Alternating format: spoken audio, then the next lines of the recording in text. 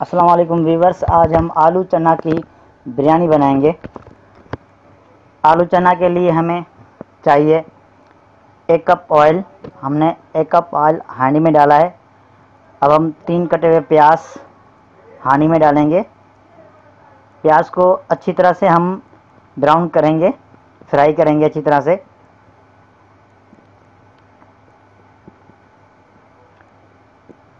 प्याज हमारे ब्राउन हो चुके हैं।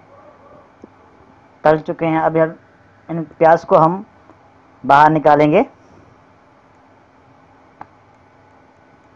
प्याज को हम चॉप करेंगे। आधे प्याज हम चॉप करेंगे, आधे प्याज हम रख देंगे। लास्ट में जो यूज़ करेंगे, ये आधे प्याज हमने लास्ट में यूज़ करने हैं। टमाटर, केचप, चार टेबल स्पून। अब हम ग्रैंड चॉप प्याज हम इसमें डाल रहे हैं।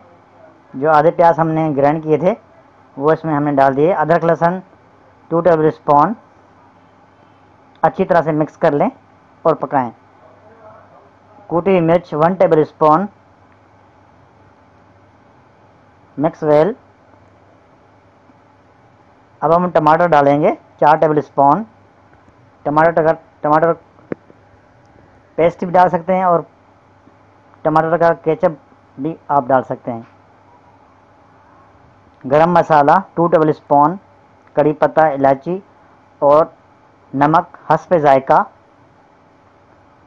कूटी मिर्च one tablespoon biryani masala two tablespoon इसको अच्छी तरह से मिक्स करके पकाएँ। एक से दो मिनट इसको अच्छी तरह से पकाएँ। अब हम चने बॉयल हमने चने बॉयल कर कर दिए थे पहले 250 मिलीग्राम आलू बॉयल 250 मिलीग्राम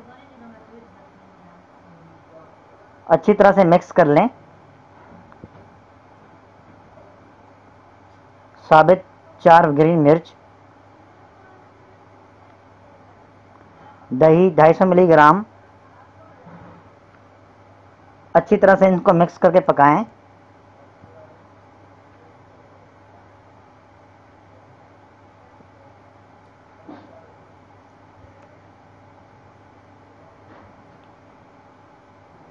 अब हम इसमें कटे हुए तीन अदद लेमन। अच्छी तरह से इसको मिक्स कर लें।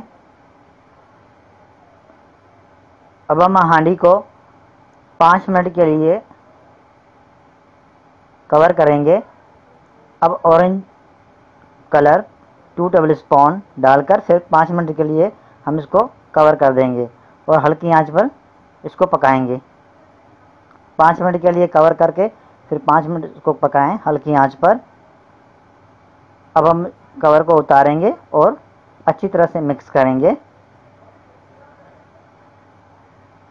अब स्टोव को ऑफ़ करेंगे और किसी बर्तन में इसको निकाल देंगे।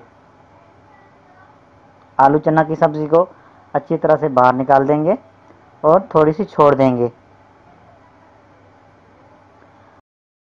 चावल 500 मिलीग्राम।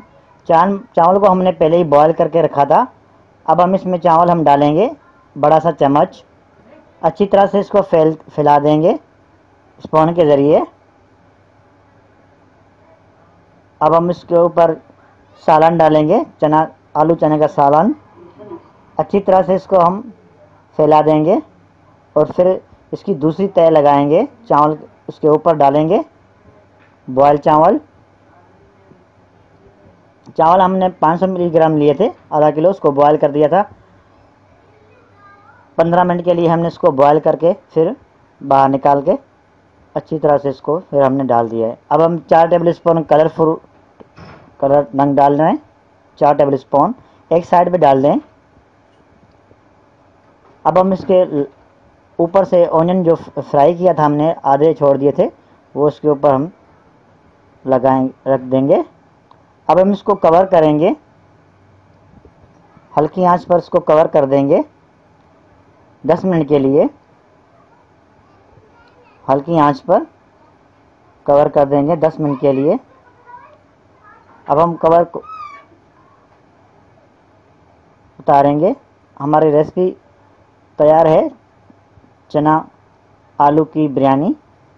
अच्छी तरह से हम इसको मिक्स करेंगे और फिर डिश आउट करेंगे। अगर मेरी रेसिपी आपको अच्छी लगी हो तो सब्सक्राइब करें लाइक करें मेरे चैनल को। इंशाल्लाह नेक्स्ट रेसिपी मुलाकात होगी। सो अपने बच्चों का, अपने बड़ों का अपना ख्याल रखें और हमें दुआ में याद रखें। अगर मेरी वीडियो आपको अच्छी लगी हो तो कमेंट और लाइक और सब्सक्राइब ज़रूर करें। अल्लाह हाफिज़।